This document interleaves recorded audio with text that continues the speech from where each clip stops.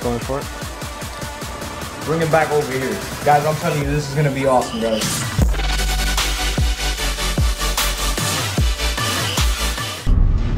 What's up, beautiful people? We are.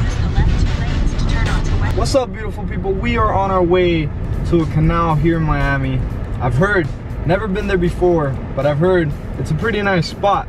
It's a canal that's connected to the ocean here in Miami, and it's brackish water, so we might be catching some jacks, some snooks. I don't have live bait because everything is closed. We're in quarantine here, but we're gonna try going out there, maybe use some lures, and let's see what we can catch.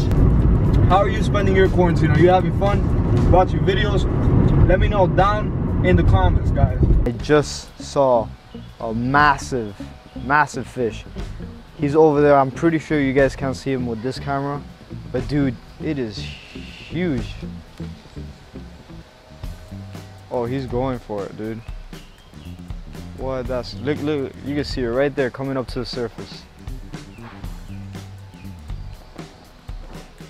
Let me check my drag. I'm using really light, and I think this is maybe 10 pounds. You guys knew what that fish was that we saw earlier. If you were able to see it, let me know what you guys think that is. I have no idea. It was huge though. So like I said, this is the first time I come to this spot. And when I got here, I realized that there's a bunch of iguanas in this section right here. This might be the spot where I come to do a catch, clean, and cook of an iguana. When all this COVID-19 deal goes away, we could reunite with Gabby because he's been on lockdown at his house and might do a catch, clean, and cook. Let me know what you guys think down in the comments below, my friends. The thing that got me snagged last time was those, I guess from that tree right there, some of those branches fell into the water. Cast it over there because I saw a fish and I guess I didn't realize how deep my lure was going so I got stuck to that branch. So I'm gonna avoid that spot for now. This place is absolutely beautiful. You got the shade going on. While we were walking up to the spot, I saw these pink eggs on the ground and it's crazy, I've never seen them before. These are actually eggs from a snail. I didn't even know that snails would lay eggs. I saw one of those fat snails, the ones that are around the Everglades as well, and I didn't know they laid eggs, but it looks so epic. Those eggs were awesome. Oh dude, dude, check this out. That big fish just got back. Check this out. I'm pretty sure if I hook that fish on, I'm gonna get broken off. But hey, let's give it a try. Monster snook, I just saw a monster snook over there. Here he comes. I don't know if you guys can see him right there, but he is a monster, guys. He is a monster. He's going for it. Oh. He bit it, he didn't quite grab on it. I don't know if it's the bait, I don't know if it's the conditions we're in right now, but there's not a lot of activity. Talk about how yesterday we went on a trip. We got these awesome mackerels. I tell you guys something, I am excited to get home. I know I got those two mackerels. I might prep them for you. Mackerels are exciting to cook. You guys are gonna see what that's all about. All right, my friends, back at my place, I got these two mackerels from the last trip, yesterday's trip. Awesome mackerels, my favorite, one of my favorite fishes to catch because of the fact that they're so simple to cook, catch, and clean. Check this out. All right, so check this out. We're gonna do this simple incision right here towards the head. Just like that. We're gonna start off back here at the tail. Work your way into the tail.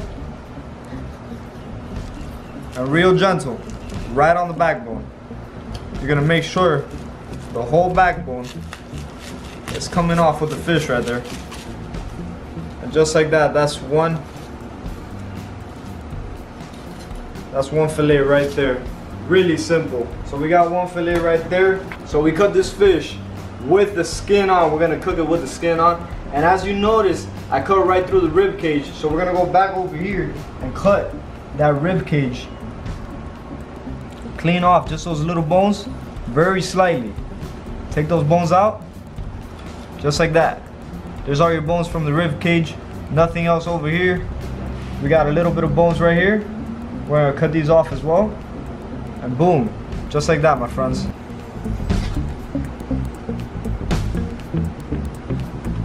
And you got one out of four clean fillets. We got one fish down. I'm gonna lay these steaks right here. Boom, boom. As you can see, no meat left behind right there, all bones.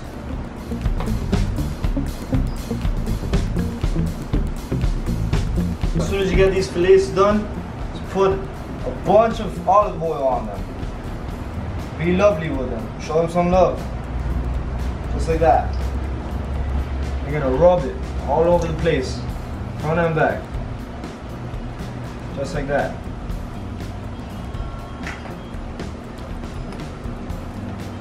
Trust me guys, when you guys try this, you're gonna be you're gonna fall in love. Mackerel. Spanish mackerel, one of the best fishes out there, man. One of my favorite fishes to catch, clean, and cook. So now flies aren't gonna come over here. They aren't gonna get on your fillets. It's gonna be lovely, guys. It's gonna be lovely. On the side, this is the key right here. You guys gotta get this right. We're gonna put a little bit of oregano. This is fresh oregano. You can get some bottle oregano as well. I'm gonna cut these oreganos slightly. Very small chunks of oregano. Boom, boom. Put the stem in there, everything. You got your oreganos chopped up. We're gonna put them over here on the side. Also, bay leaves. Awesome ingredient right here. This is gonna give you that aroma in your fish. It's gonna, guys, it's gonna, it's gonna be awesome, guys. Put in a few hits of mayonnaise over here to our mix. Maybe two spoons, leave it like that right there. Back with the olive oil, hit it up just a little more. Little more olive oil in there. And of course you can't miss your sriracha sauce. Just a little tap of sriracha sauce right there. Black pepper. A little bit of salt. These bay leaves, don't put them on your sauce yet. We're gonna leave these out here. Grab some fresh garlic. Maybe I would say three cloves of garlic. It's gonna be okay. Just like that, guys. Abundant with the garlic. Garlic is awesome. More garlic left behind. Boom. All inside that awesome sauce. And then finally, finally, we're gonna grab the sauce. We're gonna mix it, guys. Boom. When you have your sauce ready, get some lemon. Grab that lemon right there, just like that, my friends. I think two of them are gonna do the trick. Look at all those seeds right there always, you could always use your hand. Gotta love the kitchen, the kitchen loves you. Give one last swirl to this right here.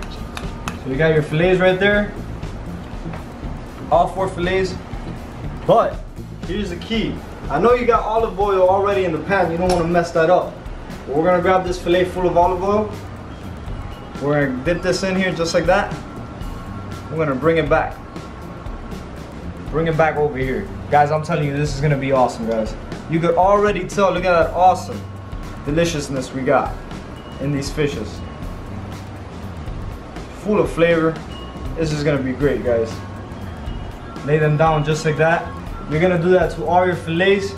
So it's gonna be pretty even right there. That's gonna guarantee you it's not gonna get stuck. We got the skin on. Remember, we have the skin on. So we're gonna have to, I don't know, it's up to you. You can eat the skin. You can take it off when it's done. Now, my friends, paprika the last ingredient we're gonna put on here just for a little bit of color when this is done is gonna be great guys.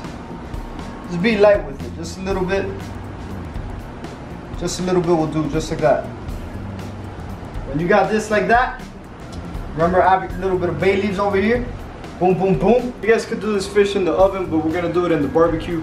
Very low heat maybe 350 for about 20 minutes this does not take that long to cook all the way through. I encourage you guys to absolutely check this out. Make sure, make sure you guys try this whenever you catch a mackerel. It's gonna be awesome, guys.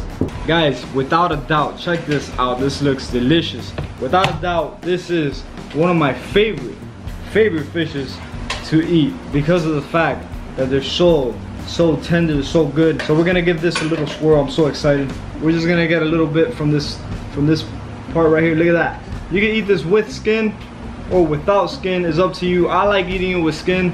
Oh my god, there's so much fish.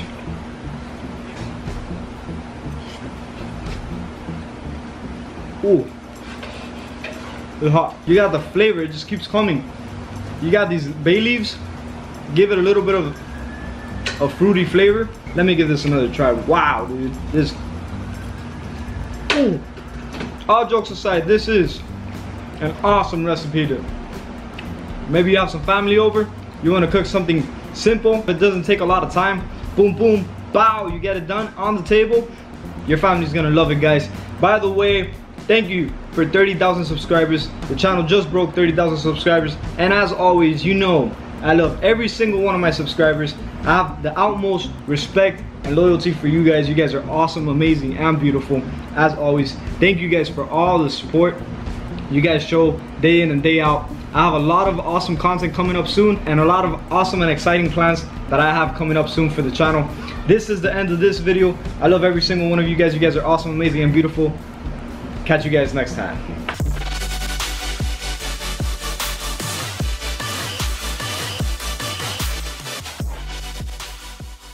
I threw the guts to the cats, they already took it. But anyways, guys, this right here, you can use for a broth. A fish broth is awesome. The heads, the backbone, all that extra meat that was on there, you can use that. Make sure to try it.